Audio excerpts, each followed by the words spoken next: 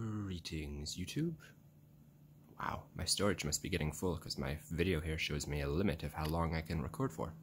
49 more minutes. Madness. Um, but anyways, this is going to be the introduction to a series I'm going to do where I just read Dante's Divine Comedy. Each uh, canto will be split into two separate videos.